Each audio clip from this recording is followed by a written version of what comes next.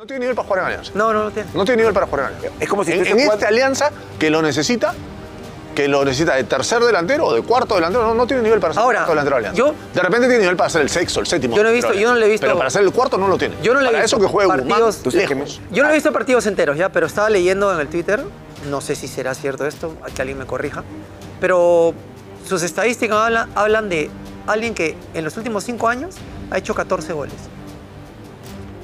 Ha jugado poco en Boavista. Salió de Pero Michael, escúchame, si tú eres scout y ves que en los últimos cinco años alguien hace 14 goles, ¿cómo lo traes de Su delantero? única, su, única, su única virtud. sea, es centro delantero. Su única virtud era que, fue, que era el que tenía Pero la es que mi- posibilidad de ser peruano. Claro, claro.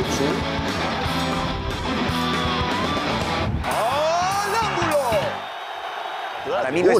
Eso es lo más importante porque, porque es el delantero y, y si te quedan dos de visita en Copa Libertadores, Claro. es fundamental que tengas efectividad. Porque además Pero- a pero- eso juegas. pero a mí lo- a mí- juegas a eso, Claro, a tener hay, algo, dos. hay algo que para mí sí. Te puede fallar gol. ¿Vieron el gesto de Restrepo? Pero hay algo que para mí no Sí, es- claro. El gesto de Restrepo fue muy clarísimo, sintomático. ¿ah? Clarísimo. Fue, Fue casi de. Como lapidario, ¿no? Sí, sí, sí. Sí. Pero hay algo que Sí. para mí es. Mira, yo, yo te digo, ah, voy a, voy a, me voy a subir al coche de la tribuna, pero para que falle ese gol, que lo falle Guzmán. O sea, que lo falle un juvenil. De verdad. O sea, hacer el esfuerzo de traer un jugador como ese para que la tire a la tribuna. Ojo, la tiró a la tribuna, no la falló por un poquito. A la tribuna fue la pelota. Mira. No seas malo. No seas malo. Yo, a mí no me gusta eh, descalificar y de repente estoy un poco eh, en caliente porque eh, es lo que dice José. Era el diseño del partido perfecto. Claro. Lo trabajaste, lo Le trabajaste. quedó la bola Le que quedó el la- partido planificado del partido para- claro. bueno, Sí. que te la tape el arquero, que, que vaya pegada al palo. Que haya un rebote con segunda No sé. jugada, lo que sea. Lo que hizo en Paraguay, que la tapó el arquero, digamos. Igual igual mal. no le dio y en la segunda. Igual mal. Pero va al arco, Michael. Sí, igual sí. No está bien, pero Va Michael, no le tira agranda- fuera el estadio. Va al arco, no le tira Para- fuera el estadio. Para mí agranda los, los goles fallados es el estilo que tiene, por decirlo de alguna manera. No, no lo voy a decir estilo. La poca energía, las pocas ganas con las que va las divididas. No salten las pelotas. Ganó una dividida con el cuerpo, pone bien el cuerpo y después un montón de pelotas que saltando ganas un lateral.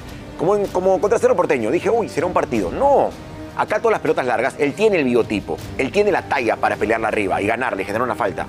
No tiene nivel. No tiene nivel para jugar en Alianza. No, no lo tiene. No tiene nivel para jugar en Alianza. Es como si en, estuviese en jugando- esta alianza que lo necesita, que lo necesita de tercer delantero o de cuarto delantero, no, no tiene nivel para ser Ahora, cuarto delantero de Alianza. yo- de repente tiene nivel para ser el sexto, el séptimo. Yo no he visto- yo no le he visto- Pero para ser el cuarto no lo tiene. Yo no le he para visto eso que juegue partidos- Guzmán, lejos. Yo no he visto partidos enteros ya, pero estaba leyendo en el Twitter, no sé si será cierto esto, que alguien me corrija, pero sus estadísticas hablan, hablan de alguien que en los últimos cinco años ha hecho 14 goles. Ha jugado poco en Boavista. Salió de Pero Michael, escúchame, si tú eres scout y ves que en los últimos cinco años alguien hace 14 goles, ¿cómo lo traes de Su delantero? única, su, única, su única virtud. sea, es centro Su delantero. única virtud era que, fue, que era el que tenía Pero es la mi- posibilidad de ser peruano. Claro, claro. Su, su única. No- O sea, lo atractivo de ese futbolista era, uy, un futbolista en Europa, entonces tú dices, tengo Europa, algo tienen que haberle visto, que en el último día del libro de pases te permitía, ser ins- lo- permitía que lo inscribieran Mm. Por como eso lo traen, no lo traen esa, porque esa era, era, no, esa era- era- no estaba primero en la lista de scouting que hicieron. Mira, yo quiero, yo quiero pensar de que esa no es la razón. No, no, Yo entiendo que esa no, finalmente es tiene la que ser, razón, es pero yo quiero pensar que solamente porque es peruano no es que lo... O sea, No, es que no porque jugaba en revisaron... Europa, es porque jugaba en Europa. ¿no? Entonces tú dices, bueno, sistema en Boavista, No, me a lo mejor ese argumento de por qué ha jugado en Europa, hermano, por amor al. Tiene, un- tiene una trayectoria donde fue promesa en las divisiones menores, en la sub-17 y sub-20 de Venezuela. Ese es su, eso es su mejor antecedente. Bueno, así te lo voy a decir de rotundo. Hasta el día de hoy no ha demostrado absolutamente nada. Es que, que juegue Guzmán. Juégatela por el chico que va a ser el 9 de la De sub-20 repente de es una Perú. manera de cada uno de sentir el fútbol, pero para mí que vaya las pelotas divididas de esa manera, cuando Alianza estaba, cuando Sanelato se tiraba de cara, me, me- me impactó. Sí, me impactó no. la displicencia para ir a buscar esas pelotas. Porque si es tu estilo, tienes que cambiarlo. La Copa Libertadores se juega con otro estilo. Pero Aldair jugó tan mal el año pasado para que no siga. No, ¿Qué? ¿Tú te No, pregunto, pregunto. ¿tú te No, no, yo sí le pregunto. tengo mi pero pensamiento, pero es, pregunto. es ¿tú una pregunta retórica. al- ¿no? al- Claro, Aldair hizo un claro. gol con- en Paraguay, cuando Alianza le gana a Libertad, Aldair hace un gol. Yo acá, en este programa, siempre que me refería a Aldair, Dame algún siempre. periodista que es un desgraciado decía que era un delantero de contención, pero no voy a citarlo.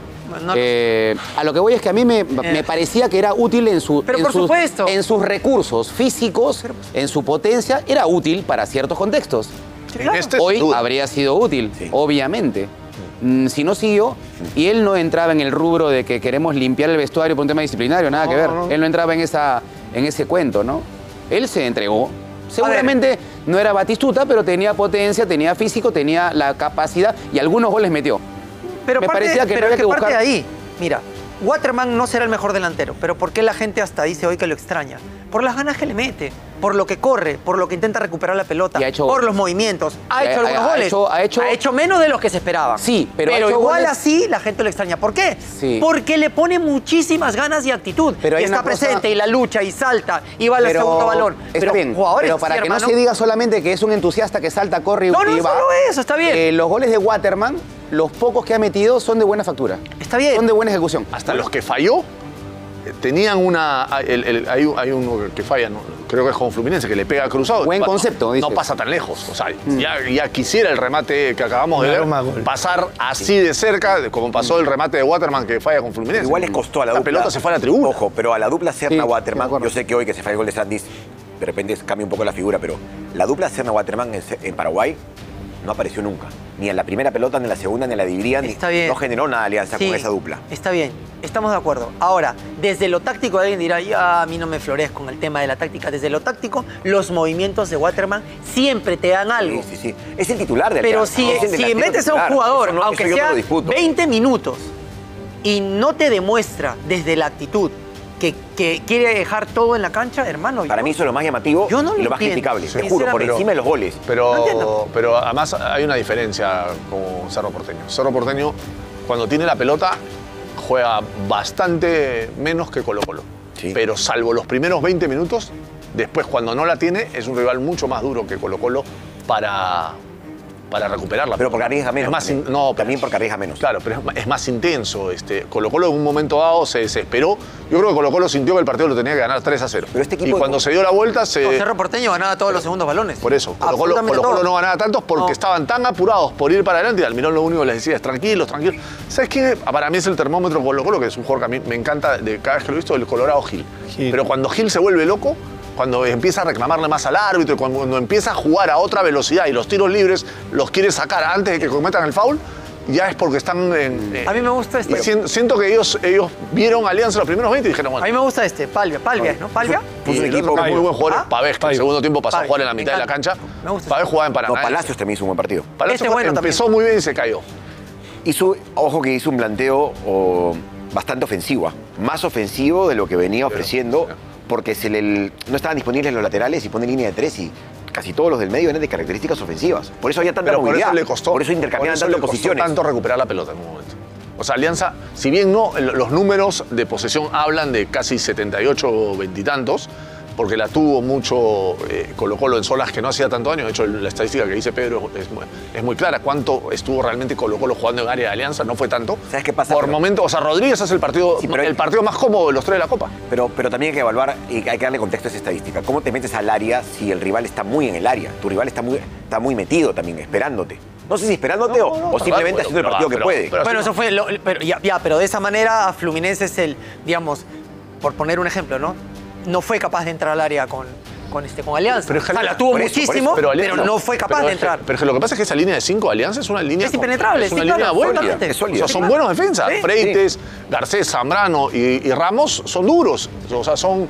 Te ganan divididas, eh, te ganan por arriba, no, no- no se distraen así nomás. Yo le doy un valor al punto. Le doy un valor al punto Pero por por, el supuesto. tipo, por el tipo de partido. Ahora es un puntazo si después vienes y le ganas a Colo Colo en línea. No, sí, claro. Obvio, si no, no, O sea, no tiene sentido. Porque además tienes la ventaja de que los dos siguientes partidos son con, con Cerro y con Colo Colo. Este, Ahora, pero ahí viene una buena discusión, ¿no? dándole una, una- una vida propia a este partido por el tipo de partido, habiendo estado Colo Colo más cerca de ganarlo que Alianza, habiendo generado un poco más que Alianza, y por cómo Alianza se puede recomponer en un partido donde tenía todo cuesta arriba, La bronca es que Alianza Es- tendría es un que. buen punto. La bronca es que Alianza tendría que tener tres puntos. Yo no digo ganar en Paraguay. Sí. Tres puntos. O sea, atendiendo, cometiendo un futbolista de Alianza, uno de los de la cadena de errores del último gol. Solucionando eso, Alianza tendría tres puntos. Y con tres puntos estaría recontra vivo. Pero tendría- está vivo nada más. Hoy está vivo. Claro. Estaría recontra vivo porque le alcanzaría hasta de repente ganando uno y empatando el otro en, en Lima. Ahora- ser. Ahora, Ahora tiene que ganar los dos. Y regresa- los dos a, dos a dos rivales que no lo superaron. O sea, Claro. tiene que ganar los partidos, tiene que Pero desde, ratificar. desde otro, eh, en otro partido. Que en otro contexto En un ahora puede Un ganar. partido en el que tiene que salir. Ahora, Sí, da, lógico. mira, arriba va a regresar.